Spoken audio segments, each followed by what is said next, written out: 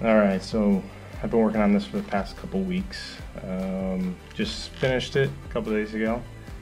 Um, and I'm just kind of doing this video to show it off, one, and then two, kind of give credit to all the other people who had some input on it, just kind of putting it out open source stuff on YouTube and Thingiverse and whatnot. You know, the first thing is you notice is the, the paint job on it. I took it completely apart, um, spray painted it all black, or first sanded it all down, roughed it up so that the paint would stick. Um, if you're going to do something like this, make sure you spend a good amount of time doing that, especially on the big, you know, flat areas here. They're going to, um, if you don't let the paint stick real well, it's going to peel off. Um, so after I roughed it all up, did a, a good base coat of black uh, on everything. Um, and once that was dry, I went back, uh, tested this kind of yellowish brown tan color. Um, I tried a couple different colors. Um, are shades of that, and I finally stuck with this one. I think it turned out all right. Um, and then the silver uh, metallic paint on the barrel, um, and then also on the stock back here is all the same silver. Um, and then I highlighted the, I'm not sure if you can see it, rapid strike there with the silver as well. Um, I didn't take any time to sand off any of the, you know, you got the caution written down here and you can still see the nerf and elite. I didn't bother sanding that stuff down. I, I it doesn't bother me. Um, and then once I did that, um, I kind of went over, you know, dry brushed. Yeah, it's a really easy way to make things look pretty cool. Um, kind of highlighted with uh, you know, more of the silver and then the black uh, as well. Man, dirtied it up a little bit, make it look a little used. Um, overall, I think the, the look of it looks looks pretty good. Um, initially, I had some sticking with the stock here in the back, um, and uh, over time, it got easier and easier. Um, luckily, I have the stock that is gray. I know some of them come in as orange. Uh, if you decide to do this um, and still have the stock collapsible, um, you're probably going to get some paint wearing down because I can see the gray here. That's actually the plastic color. So if that's orange, that's going to really wear down really fast. Probably not look all that uh, as good as it was when you initially painted it. Um, so keep that in mind. Um, so going over what capabilities, or I guess what what I added to it. Um, the first thing off the bat comes from uh, Tungsten. Uh, yeah, he's go on his page. He's got a ton of sweet videos of all the different guns he's done. Uh, but so the first thing is this uh, muzzle brake, but it also uh, holds the battery in, which I absolutely love. Um, makes swapping out the battery really easy. It's just a switch. You know, fits on the normal um, Nerf uh, barrel lock, and then the battery slides right out.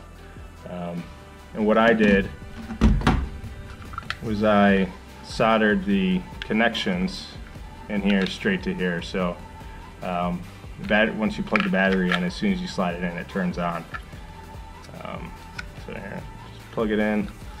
This is a uh, what is this 3S uh, 450 mil um, amp hours, milliamp hours. So um, yeah, Turnigy, man. I think these go for like some like three or four bucks a piece. You can get the HobbyKing, um, whatnot. Anyway, so then all you have to do is slide it in, and you'll hear, hear the uh, ESC starting up. Um, and then it's it. There it goes. And now it's ready to go.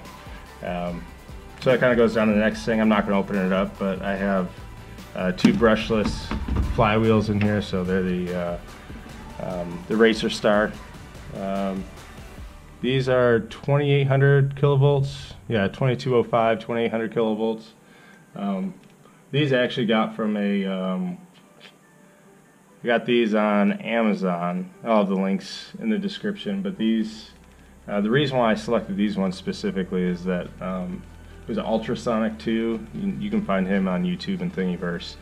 Um, he already made a flywheel, a brushless flywheel, and um, cage for the Rapidstrike, and so instead of designing myself, I used his. And I want to make sure the motors fit, so I made sure he gets the same motors as he had.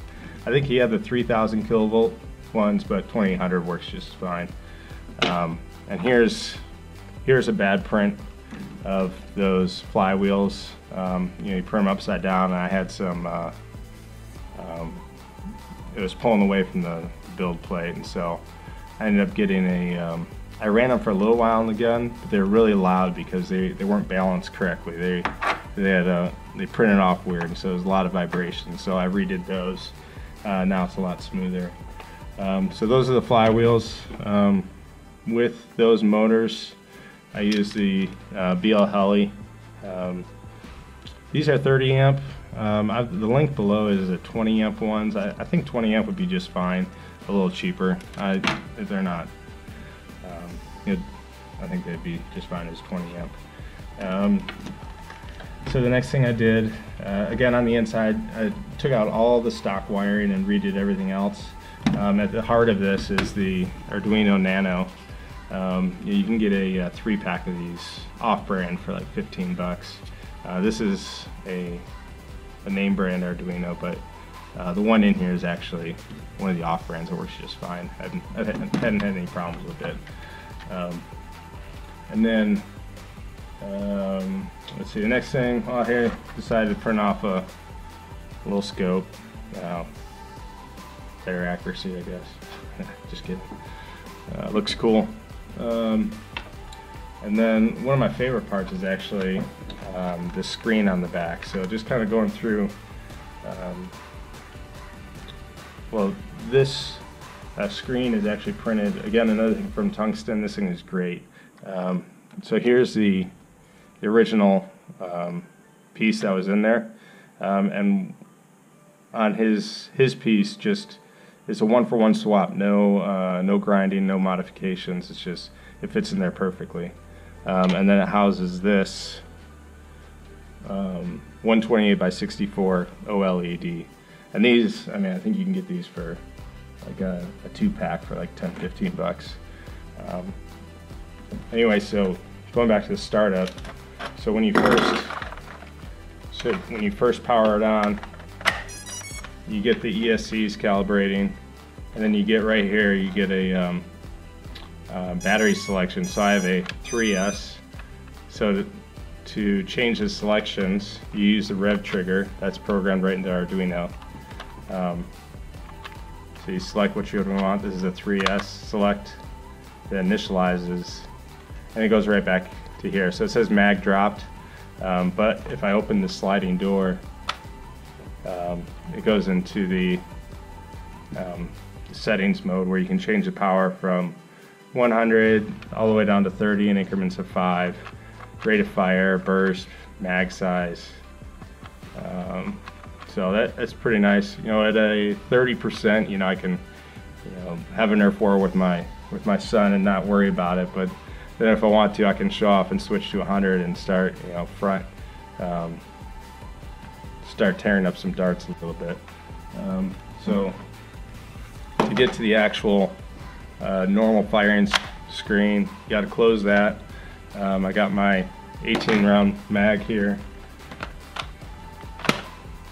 Put it in and then it goes, this is a normal fire screen. So. Um, so you get a, a, voltage readout there. I still have to calibrate that. It's not 100% right.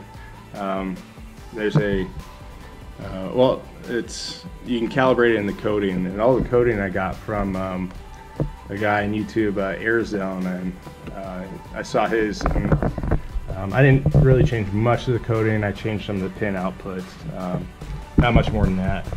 Um, just kind of some settings in there that uh, was more applicable to me. But um, so this is at 100%, and you can hear it.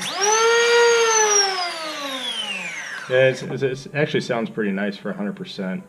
Um, on 100%, and it's not too uh, not too noisy. Um, but yeah, it's still it flings the darts pretty good. I'll, I'll show you that uh, shooting here in a second. Um, but on the side here, uh, on the side here, I have this selector switch And what this does is all the way back is single shot, middle is burst. And again, you can set that burst to whatever you want, and then forward is full auto. Uh, so essentially, with each trigger pull, you'll have a maximum of one shot, maximum of whatever your burst setting is, and then it'll just keep throwing darts until you're gone.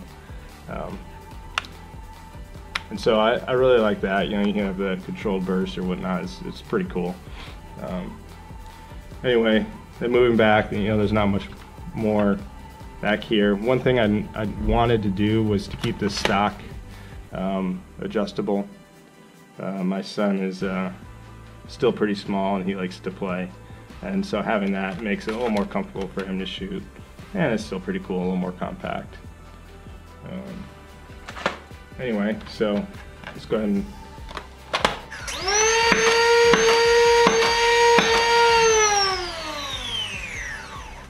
and then switching over to burst mode.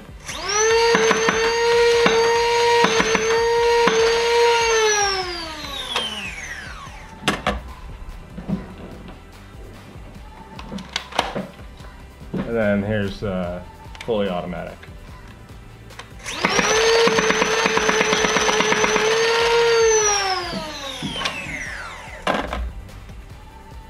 All right, so yeah, that's uh, that's about it. There's really, uh, I'm trying to think if there's anything else left. Um, it does have, when you get it calibrated correctly, it'll have a, uh, a low battery detection on there. Uh, that'll pop up just like that mag dropped. Um, it'll say low battery. Um, again, I have to get that um, voltage calibrated. Um, you know, it has a lot of the other things that you see with the uh, the shot counter. Um, you know, in the top there it has, well here, whenever you reset the mag, um, it'll reset to 18, but you can set that to whatever you want in the uh, uh, in the settings. Um, and then each reset of the pusher will um, you know decrease that by one, and then it'll keep a total count up in the top right here, uh, total darts fired since you've last reset the the computer there. So um, keep track of how many you shot total. So that's it's kind of cool. Um, yeah, uh, and that's about it. It's uh, yeah, a lot a lot of fun. Um, as far as going that pricing wise, you know, however much you can get a, a Rapidstrike for, I don't know what. Probably find one on eBay for 30, 40 bucks.